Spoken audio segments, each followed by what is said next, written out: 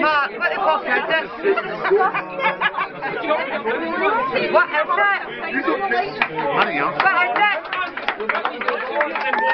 is that? No,